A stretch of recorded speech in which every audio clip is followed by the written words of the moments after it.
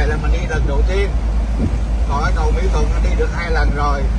Thành ra không cần gì phải nói, nhưng mà giờ mà nói cầu Cần Thơ, để coi thử cái cầu Cần Thơ để có đẹp hay là không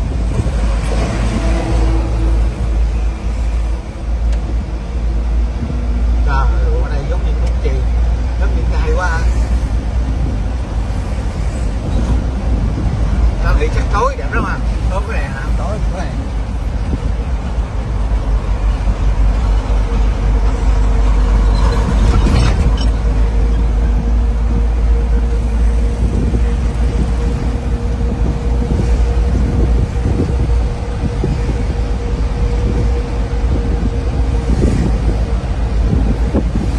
tối có đèn nhưng mà mình đâu có được lên được quyền lên đó mình chơi đâu. Được sao không.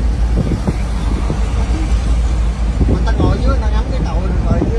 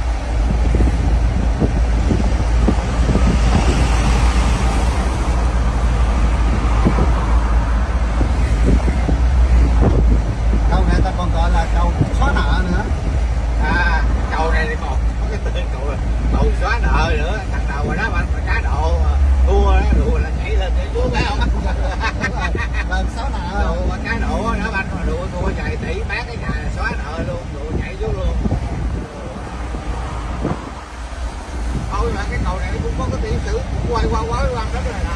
Mình nhớ hồi xưa là mình nhớ là nghe nói là ở đây nó chết mấy chục mạng người Chính xác. giờ bây giờ chỗ đây phía dòng thống á? Nó sẽ cùng dịp cầu cái sập cái việc cầu nó đè mấy người công nhân chết quá trời luôn. Nhiều quá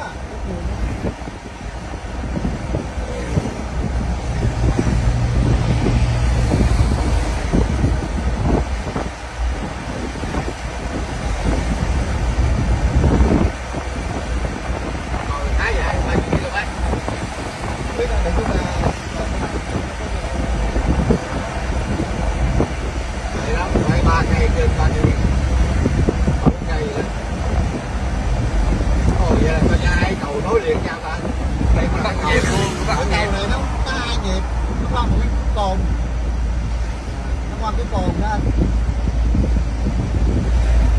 Đề suy là thấy bắt qua hai cũng xong.